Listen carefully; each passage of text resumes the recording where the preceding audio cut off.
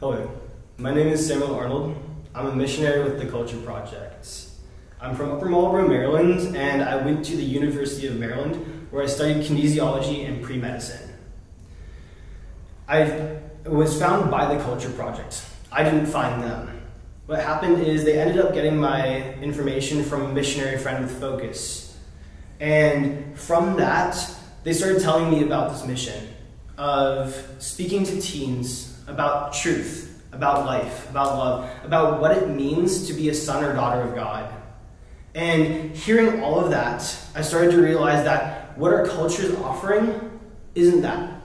Our culture offers lies, use, deceit. It doesn't uh, look for our greatness or our goodness, but rather seeks to break us down. So, why I joined the Culture Project is in order to speak to those students, in order to show them that there's a different way. I encountered this in the classroom actually through one student. After giving my sexual integrity talk, one of the boys came up and started talking to me.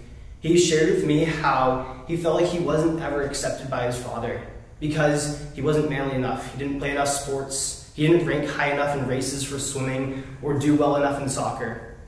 But through my conversation with him, through being able to talk to him, I was able to show him that his identity isn't in what he does, but who he is, how he's created as a son of God, and is truly meant for greatness. Not to fall into what the culture is offering, not to believe that his father doesn't love him, but rather show him that God is his father, and he wants to reconcile him with his biological father as well.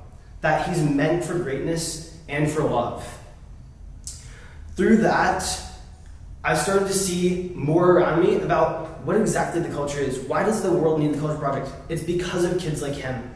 Because people are buying the lies, the use. We aren't being shown this true path, but rather we're being shown those counterfeits. That's why the world needs the Culture Project.